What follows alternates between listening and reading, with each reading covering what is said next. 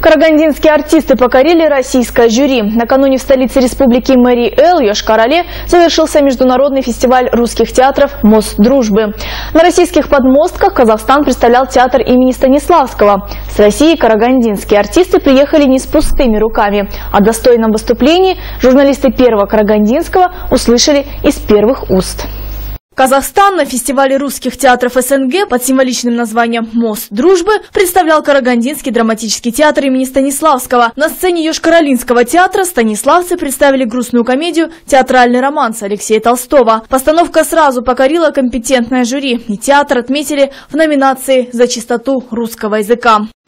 Они отметили у нас действительно настоящий русский литературный язык у наших актеров. Вот. Там э, поразились этому обстоятельству. Вот. И, конечно, нас пригласили на следующий фестиваль, уже как бы без отбора.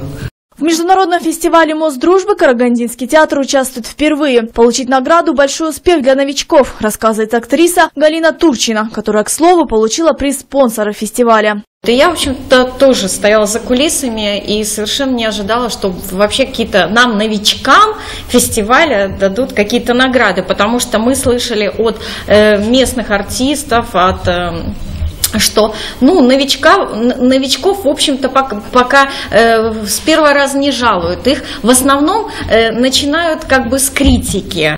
Мост дружбы стартовал 22 ноября. За 8 дней фестиваля в Йошкар-Оле было показано 12 спектаклей с актерами из Москвы, Бугульмы, Вологды, Уфы, Новокузнецка, Чебоксар, Сыктывкара и Перми. Гран-при достался театру из Уфы.